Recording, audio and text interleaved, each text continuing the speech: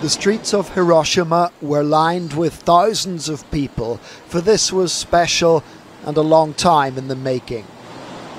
The terrible wound suffered here was so deep and painful, it has taken the passing of 70 years for it to heal sufficiently to allow the leader of the country that inflicted it to come and pay his respects. The ceremony was dignified with a stature befitting such a solemn occasion.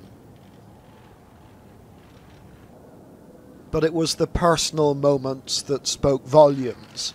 Two atomic bomb survivors got to welcome the US Commander in Chief to Hiroshima. A handshake and a chat with the first was followed by an embrace with the second. Catharsis through mutual warmth and respect. This visit is an extremely difficult balancing act. On behalf of the United States, Mr. Obama is expressing sorrow over what happened here, but he can't say that America is sorry for making it happen.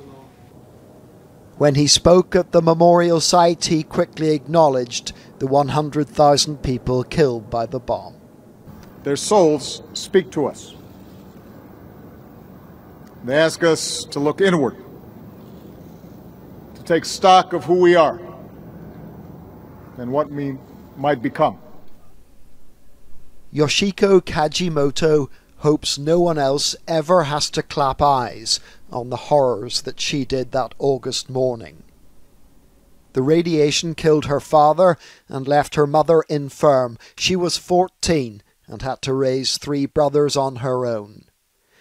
But, she said, Japan did terrible things as well and was not only a victim but an offender. It's for that reason that today an apology was neither offered nor sought.